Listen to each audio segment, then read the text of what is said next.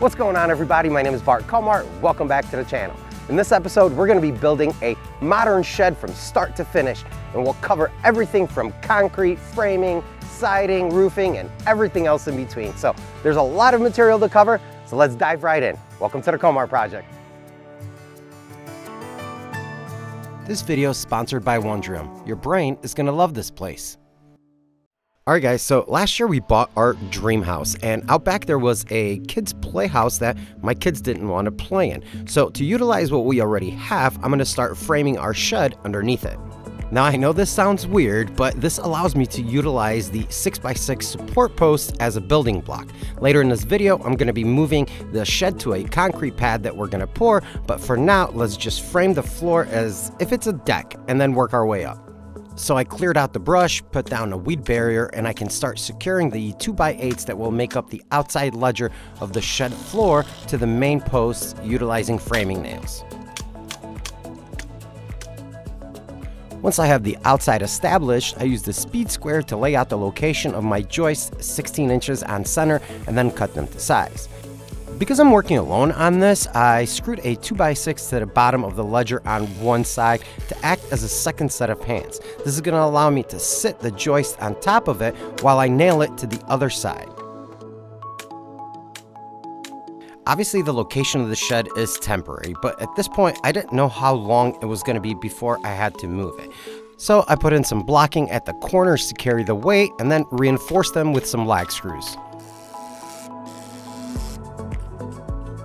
Next I can start installing the joist hangers and each joist hanger is going to have what's called a speed prong on it and it's basically like a little hook that can be hammered in into your ledger and it will hold the hanger in place while the rest of the nails are hammered in and it's very important to actually use all the holes that are provided in that joist hanger because that is what's going to carry the load of that joist. Now that I have the base all framed up, I can put in the floor, which is 3 quarter inch treated plywood.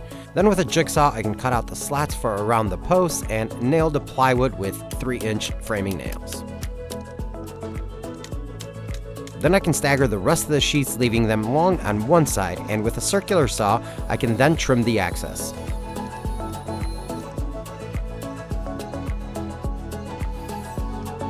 When framing walls, most of the time it's easier to put the wall together on the ground and then stand it up and nail it to the floor. But because I had all the cross members of the clubhouse to work around, I decided that it would be easier to install them individually.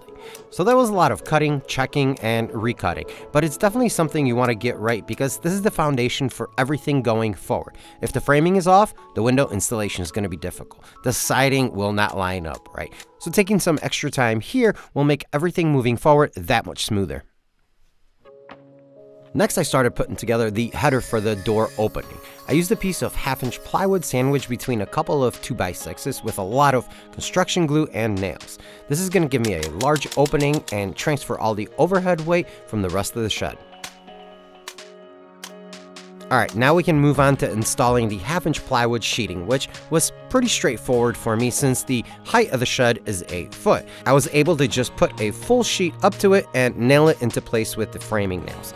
And when working on an exterior project like this, make sure that you guys are using hot dip galvanized nails rated for exterior use.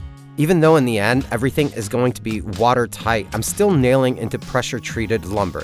And regular nails will start to corrode after about two years in pressure treated. So it's pretty important to use the right fasteners for exterior and pressure treated work. Next I can install the house wrap around the entire shed and put down a rubber membrane on the base of the windowsill. If a leak is going to occur, it's most likely going to be in an opening like a window or a door. So taking the time to install the flashing properly and using plenty of silicone will ensure that the window stays nice and dry.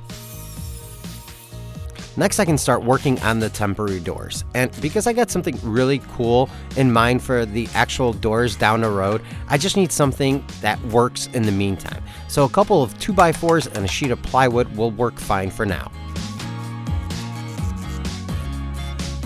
With the doors installed, I can start laying out the concrete slab that the shed is going to sit on.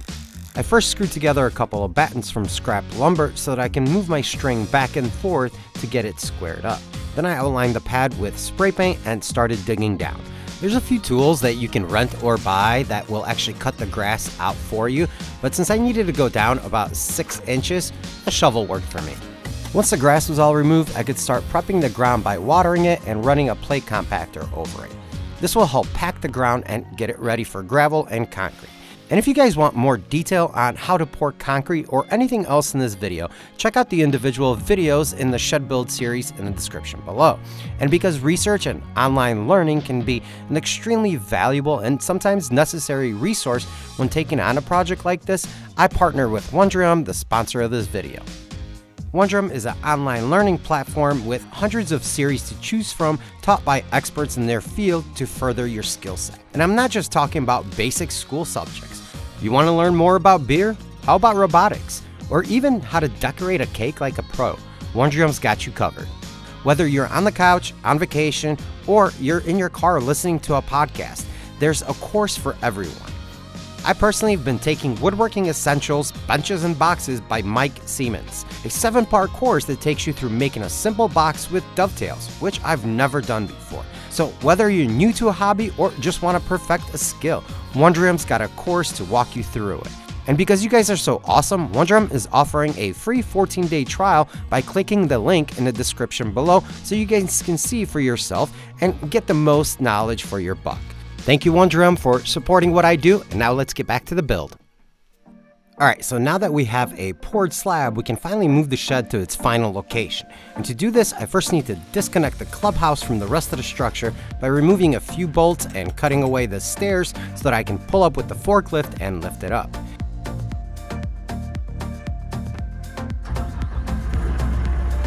And you might be asking yourself why I didn't just build the shed on the pad in the first place which would make more sense, right? But when we moved into this house, we needed a shed ASAP because I took over the garage as my shop. And this was the quickest alternative for me. So fast forward a couple of months and Honey Bunny tells me that we are getting a pool placed right where the shed is and it needed to get moved. At first, I thought it was going to be a huge pain in the butt, but then I thought to myself that if I'm moving this shed, I might as well redesign the entire thing and improve on it. And that is where I came up with the idea for the carport.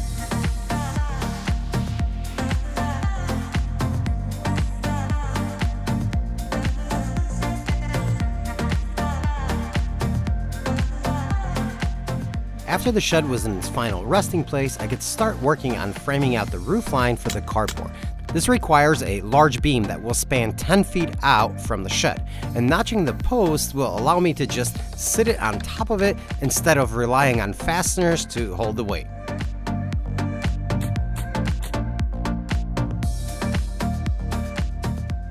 Next, I can start working on installing the 4x4 post that will actually carry the weight of the beam. I first drilled a 5 8 inch hole in the concrete and used a wedge anchor to secure the post base bracket in place. After setting the 4x4, I attached a beam to post bracket to the top. This will allow me to sit the beam on top of the post and have something to secure it with.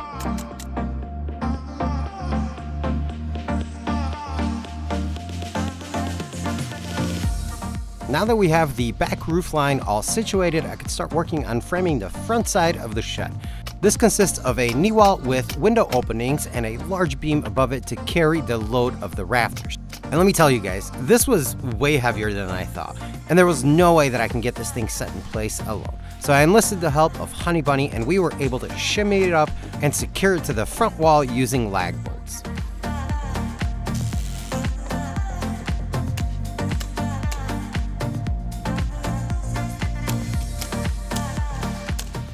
Next, I installed the front post, which was 10 feet tall. And I ended up using a makeshift ladder system to lift the beam one side at a time until it sat on top of the post. It was a little difficult getting it up there, but where there's a will, there's a way, and now we are ready to start working on the rafters. I'm using 2x6 lumber for this, and the trick for cutting any kind of rafter is making sure that they're all the same size. So cutting the first one and using it as a template for every other one after that will make sure that the roof line is nice and consistent. Because if you were to cut one, trace it to the next one, and then use that one to trace the next, Any tiny error you might have made along the way will just compound all the way through. And by the time you get to the end of the roof, nothing's gonna fit anymore. Now, you may have a wall that walks on you a little bit in or out, but you can always modify the back bird's mouth a bit to accommodate that. But to be safe, I use the same template for all the rafters and I double check the cuts every second or third rafter. That way I can modify things as needed before nailing them in place. With the rafters in place, I can start sheathing the roof with half inch OSB plywood. And luckily for me, the roof on the backside is fairly low, so I was able to attach a couple of 4x4 posts to my neighbor's fence and use that as a platform to get the sheets where I can actually grab them and lift them up. Once on top of the roof, I secured the first row with inch and a half decking screws and I only put 304 screws in. This is just enough to hold the sheet in place for now because when working on the roof, moving sheets around and cutting them, I just feel safer without an air hose that I can trip over in my way. And I even screw down the plywood temporarily to the roof when making my cuts, because with all the sawdust that the saw makes, it's very easy for that sheet to slip off the roof and take you with it.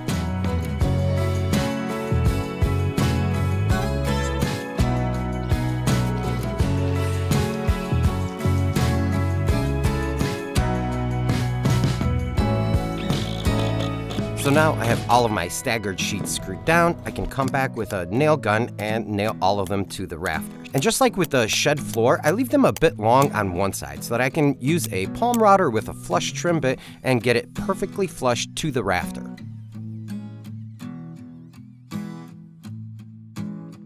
All right, to start waterproofing this roof, we're gonna put down a synthetic membrane. And this one, you wanna start at the lowest point of your roof and overlap them going upwards. You kinda wanna lay it like, like a shingle, but in long rolls. And then we can secure it with some plastic cap nails. I chose a synthetic membrane because at this point I didn't know when I would have the time to install the metal roofing, and a traditional felt underlayment can dry out or leach oils within a couple of hours of being exposed to the heat. But a synthetic membrane can sit up on top of the roof for as long as it takes me to get the metal installed.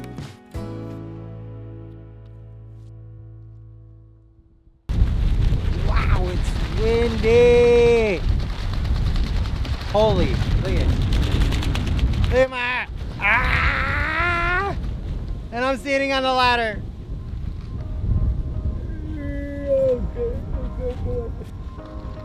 Yikes, man. What a day to be out on the roof. All right, it's time to put on the fascia, and I'm going with a 1x6 that's treated because it was cheaper. Yes, it was actually cheaper than regular pine.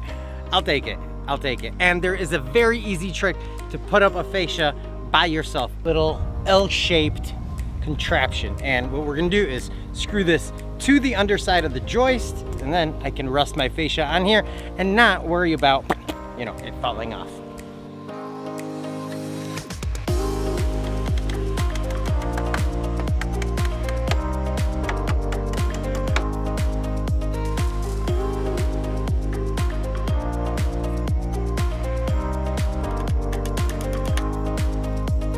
Next, I install the aluminum flashing that will protect the fascia. Now I know this is not your traditional way of doing things, but the large lip on the drip edge will allow me to later install wood paneling on the soffit and it will protect it from the rain. I used galvanized roofing nails every 8 to 10 inches to secure the flashing to the fascia, and wherever there was a seam, I put down a color matching silicone before overlapping the next piece. Next came a strip of flat flashing, and this is because the top drip edge I'm about to install was not large enough to reach the bottom one. So I needed something to make up that empty space. And luckily for me, I had a roll left over from when we trimmed out our windows on the house. Next I put in the top drip edge and you can see here how it overlaps the piece of flat flashing and with a bit of silicone I can slide it in under the previous piece and secure it with roofing nails.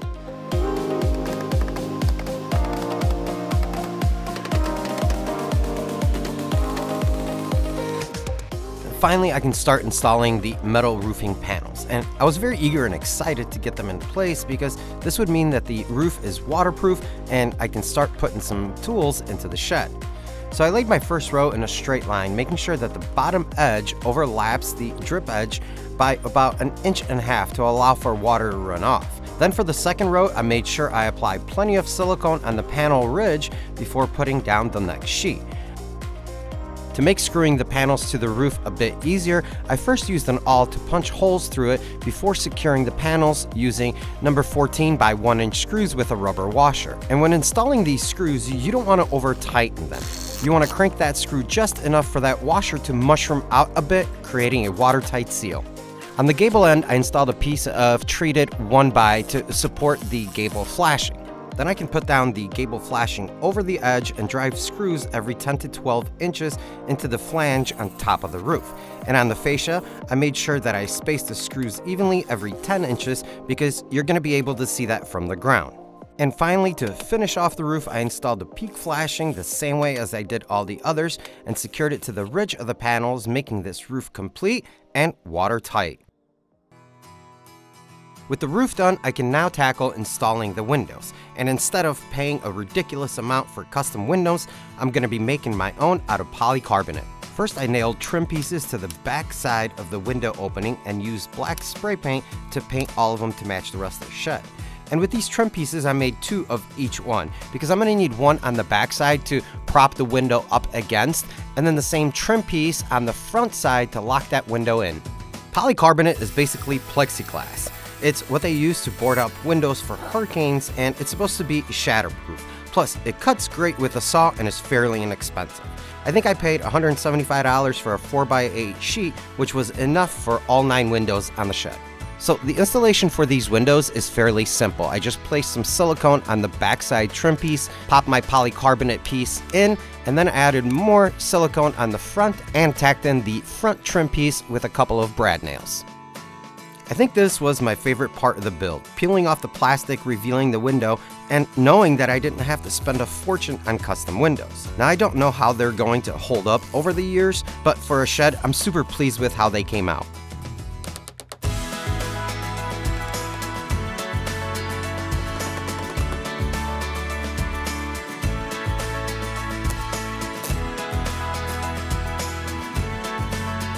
With the windows in, I can move on to installing the board and batten siding. But first, I needed to put down a Z-flashing strip that will let the water drip off the bottom. After painting it to match, I cut a corner relief and placed the strip on the lip of the floor and nailed it using galvanized nails.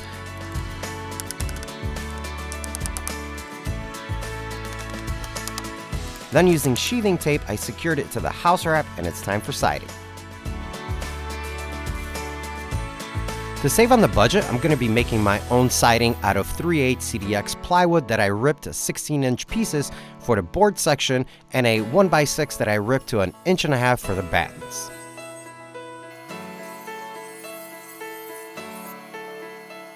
I first marked a level line where I'm going to be installing a trim 1x8 around the window. Then I can cut the panels to size using my circular saw and attach them to the shed with galvanized nails. I use this scrap piece of polycarbonate as a spacer between all the panels. With board and batten siding, all the pieces are nailed to the shed and are not nailed to each other. This is to allow movement as the seasons change. So the space between the panels is essential for the nail that holds the battens. This is going to make a lot more sense when we actually go to install those battens.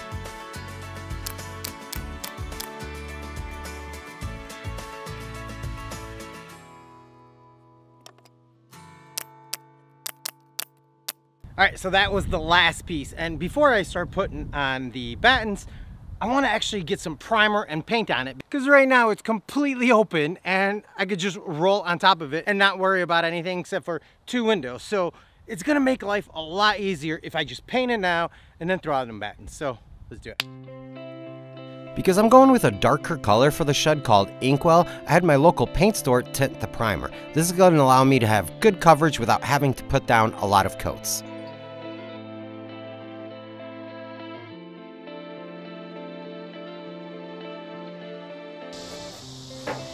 I don't know guys. I don't know if I like this color. Contrast between the bottom and the top. It's as if the two colors are blending in. It's driving me crazy right now. Stella, what do you think? She doesn't care.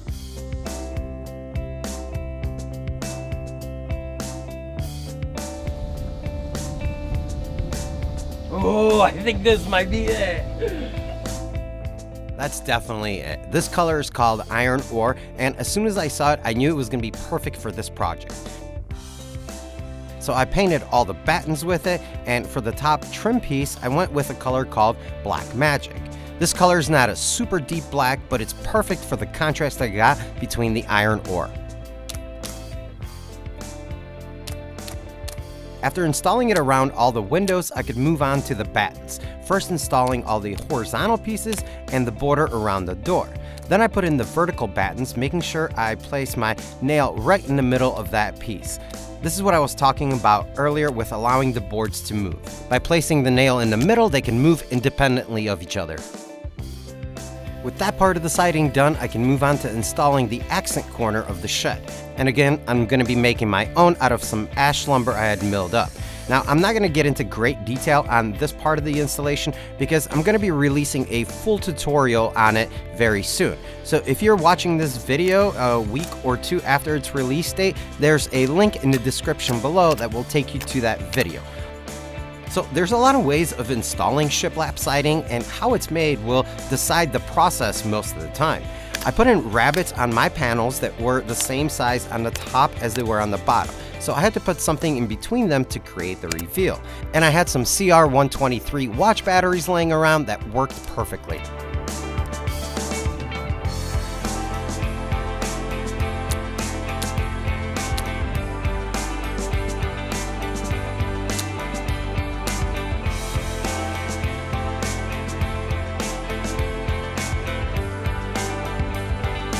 With the accent corner all finished up, it was time to put on the steel barn doors I had made and install the adjustable door glides.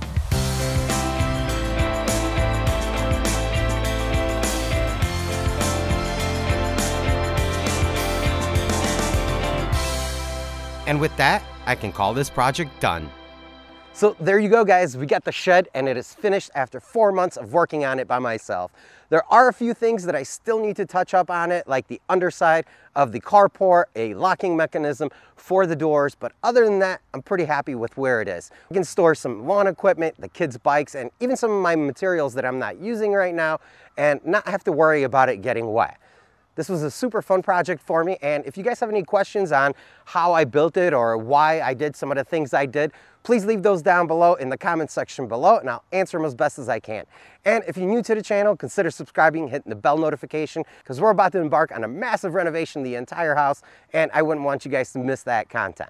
Thank you so much for joining me on this experience. I'll see you guys next time.